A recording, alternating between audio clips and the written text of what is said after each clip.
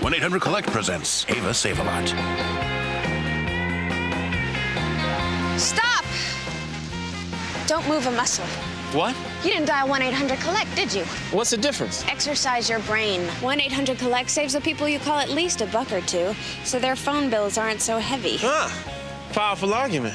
What's the number again? 1 800 Collect, as in collect calls. Easy, right? Thanks.